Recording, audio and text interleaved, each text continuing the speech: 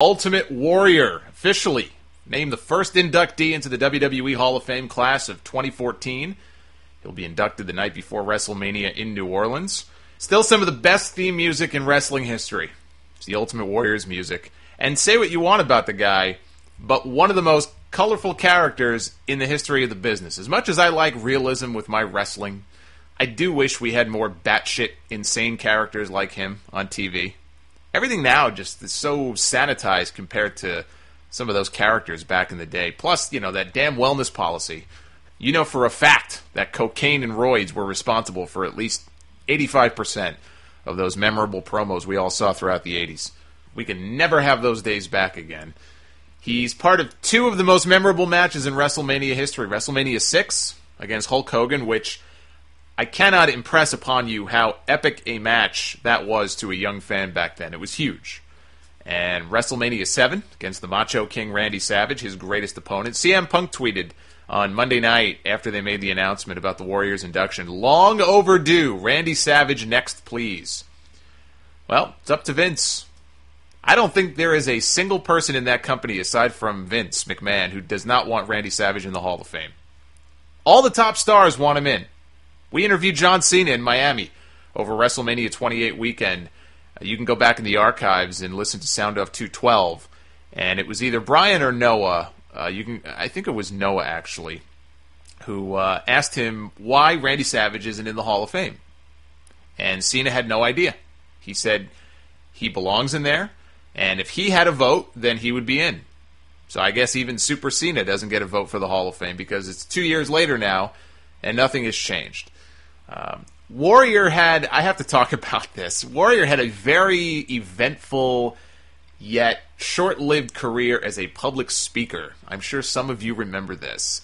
Uh, my personal experience with him goes back to my college days when I, I went to college at Hofstra, which is a school here in, in New York, out on Long Island, and they brought the Warrior to Hofstra University for a speaking engagement. And I found out about this. I must have seen flyers on campus, and I'm, I'm thinking to myself, wow, Ultimate Warrior is coming to speak to, to our school. I have to go. I have to be there.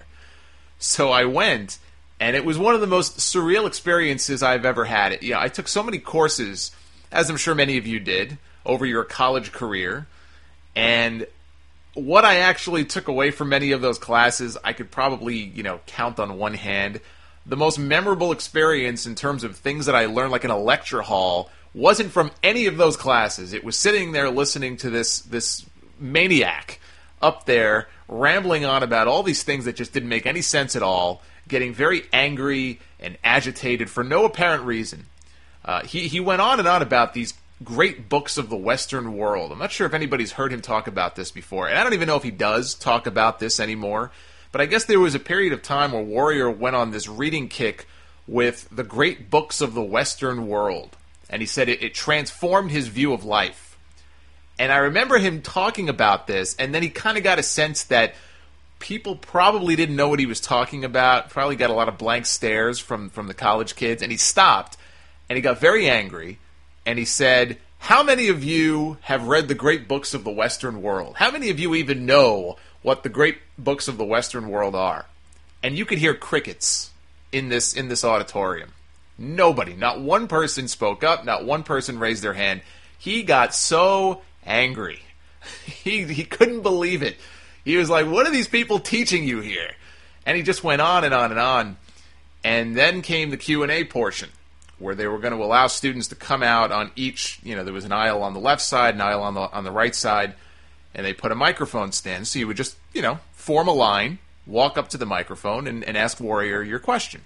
And there was one Asian student who went up to the microphone and I don't remember exactly how he worded the question. I don't remember it coming off as being overly, you know, disrespectful or anything like that. But he basically asked the warrior a question about him taking steroids.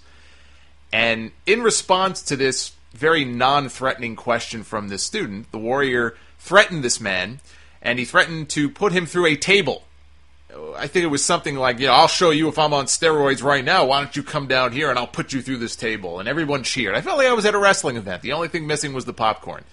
But when I met him when the event was over, we got to go up and get pictures and, and autographs, and I'm not big on autographs, so I said I want to go get my picture taken with this man.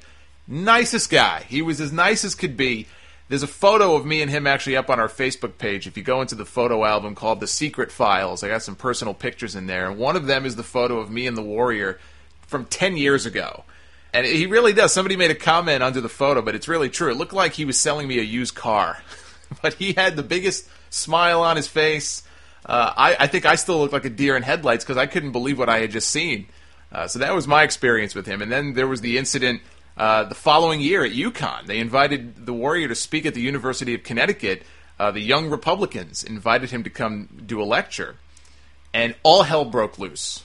And they ended up having to apologize when it was over for inviting the Warrior in the first place because he, he went off on a student and if you want to, the video of it is up on YouTube. Somebody had a uh, their phone and they filmed almost the entire lecture. I think there's highlights of it up on YouTube. If you type in, you know, Warrior at UConn, and there was a student, I think a female student maybe, who asked him a question, I guess, about homosexuality or something. And there have been rumors for a number of years about stuff that Warrior may have been or or that Warrior may have done very very early on in his wrestling career or or even just before he got into wrestling.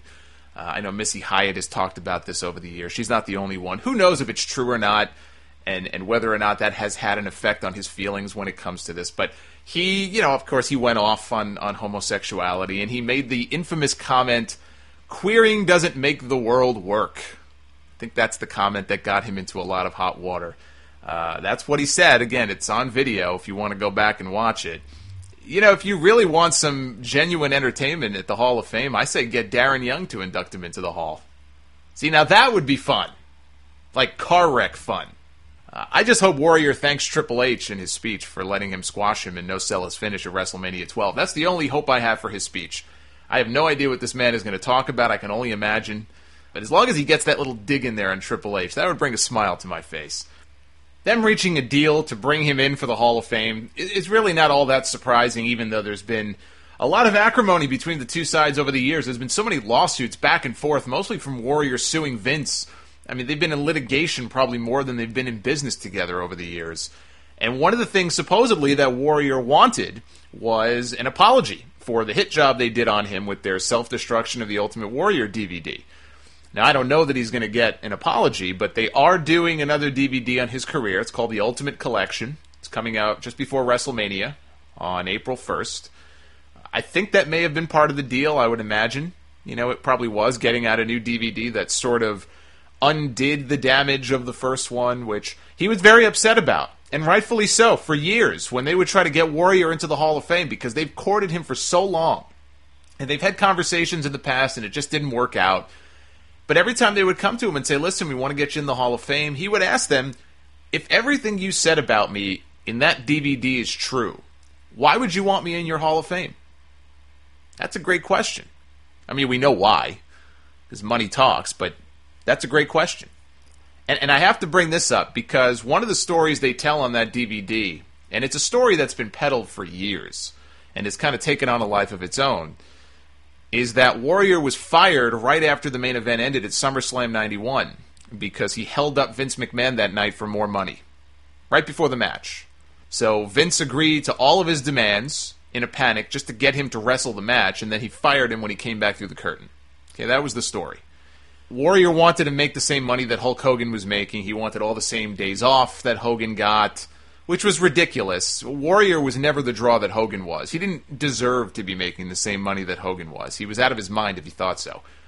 But, but, the story that he held up Vince for more money the night of the show, and, and Vince had no choice but to, you know, agree to his demands just to save the show, complete bullshit. I came across a copy of a letter on WWF stationery that was mailed to the Warrior back when he was still Jim Hellwig. It looks like it was entered into evidence as one of the, the many lawsuits between Warrior and WWE. It has a case number on it. It says it was filed on May 15th, 2009. So this has probably been floating around the internet for a while, but I only first saw it just recently, and it's pretty damning stuff. It's Vince McMahon's response to a handwritten note that Warrior sent him about how he feels he hasn't been adequately compensated – again, he wants to be paid commensurate with what Hogan was making, and all that is true. And this letter was Vince McMahon's response, basically agreeing to all of the demands that the Warrior had made. I'm gonna I have the letter open right here. It's it's just it's fascinating to read this thing. It says you will be paid the amount of five hundred and fifty thousand dollars for your participation in WrestleMania seven. With the exception of special events only, you will receive four days off every other time off period. Your pay rate on house shows will go up four to five percent of the net. Effective immediately, your royalty rate on all forms of merchandise will be increased. The specific amount will be determined in writing within one week. Your compensation for the Warrior 900. I didn't even know Warrior had a 900 hotline. I know Hogan did. But it says your compensation for your 900 number will be identical to that of the Hulk 900 hotline. So all of these things in this letter are laid out very specifically by Vince McMahon. And the date on the letter? July 13, 1991. A full six weeks before SummerSlam. I'll post a copy of this of this letter on our Facebook page if anybody wants to see it. Uh, Facebook.com slash the Solomonster. It's right there in writing. He agreed to all of the guy's demands. He didn't fight him on anything. And he even said he oh he has the deepest admiration and appreciation for him as a performer, a man, and my friend. So he gave him what he wanted, waited six weeks, and then fired him. So if at any point in the last six years I answered a mailbag question about this, and I'm pretty sure I did, if I peddled that bogus story about him holding Vince up, I apologize. I was wrong. It's it's a weird thing because it's not like Vince couldn't suspend the Warrior after he made those initial demands and change the SummerSlam main event. He did the exact same thing the next year. He changed the tag team main event of Survivor Series weeks in advance, ironically enough, after firing the Warrior. That was when they suspected him of using growth hormone, that he was importing it from overseas, him and uh, the Bulldog. So they both got fired. That was back when Vince was actually taking steroid testing very, very seriously uh, because all the heat was on him from the government at the time. It was supposed to be Warrior and Randy Savage against Ric Flair and Razor Ramon, but they replaced Warrior with Mr. Perfect. Could have done the same thing here. Just replace Warrior with Sid Justice or something. Sid was the special referee for that tag team match anyway. That was his first appearance, I think, in uh, WWE. Just put him in there with Hogan. Vince should apologize to him publicly for saying that. I actually agree with the Warrior. That thing was a complete hit job. And as nutsy cuckoo as the Warrior may really be, and there may have been a lot of truths in that DVD, that DVD really was an assassination piece. That story was completely bogus, and uh, Vince should apologize. Whether he will or not, I'm guessing not. But uh, he should. He should do the right thing. Check this out, guys. For you, the listeners of the Sound Off, Audible is offering a free audiobook download with a free 30 day trial so that you can check out their service. And it's a quality service. I wouldn't be mentioning it on my show if it wasn't.